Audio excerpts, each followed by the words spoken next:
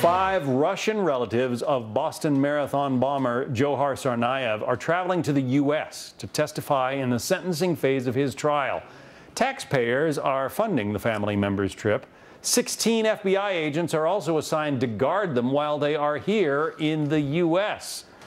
Let's bring in Jana Spilbor, a criminal defense attorney. Dan Schorr is a former prosecutor. Talk about a fair trial. Uh, we, the American people, are spending this kind of dough to pay for the protection, from the, first of all, the plane tickets, and then the protection of Dzhokhar Tsarnaev's family members. It cannot be cheap to put 16 FBI agents on round the clock detail. No, no, sir. And you know, but we paid for this whole trial anyway, so this we're just going to pile this additional expense onto the case.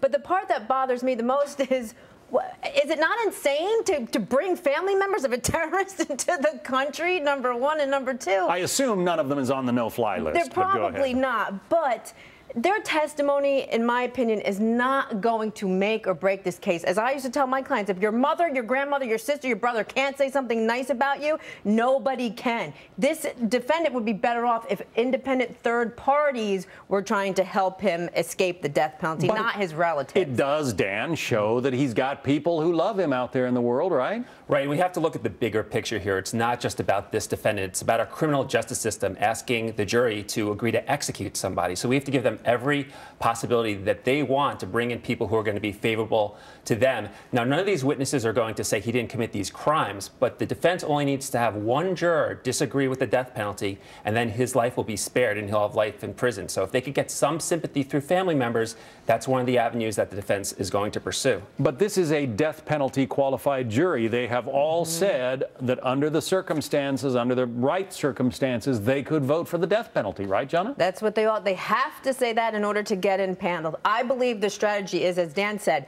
if, if they can just convince one of those jurors to not vote for death, then you don't have a unanimous jury and he's not going to get put to death. Just one. You don't have to convince all of them. So the, the, the, attempt goes on to present this young man as just a misguided youth who was under the sway of his older brother.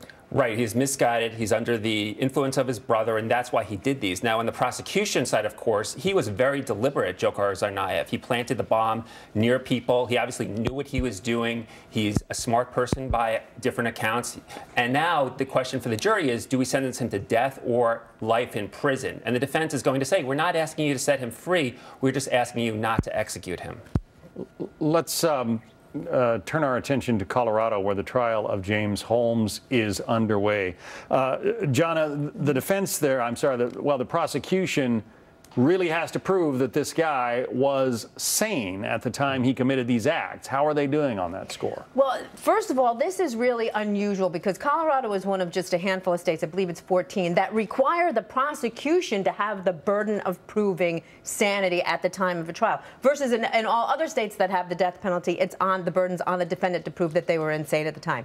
What the prosecution has to do here is show that all of the planning and all of uh, what, what Mr. Holmes did the day that he killed 12 people and injured 70 was not part of a psychotic episode, air quotes, but rather um, purposefully done plotted and planned so that he knew the difference between right and wrong when he committed the act. What about all the planning? Doesn't that suggest the, the work of a, of a sane mind? I mean, there was all kinds of pre-planning that went into this. Right. This is not a very strong defense. Insanity here is a defense of last resort, where there's no other legal or factual defense. The defendant put himself in body armor. That shows that he's thinking he's doing something wrong, that there might be some retaliation for. He targeted specific theater goers, shooting them as they were leaving the theater. He booby trapped his apartment so law enforcement might get hurt entering his apartment. These are all thought out crimes, very inconsistent with someone who's insane. All right. Well, we will continue to watch both of these stories. I know that in the Boston case, the prosecution asked the judge to please let the family members testify quickly so we can put those FBI agents back out on the streets and no longer have them protecting the Tsarnaev clan. Jana Spilbor, Dan Schorr, thank you both. Thank you.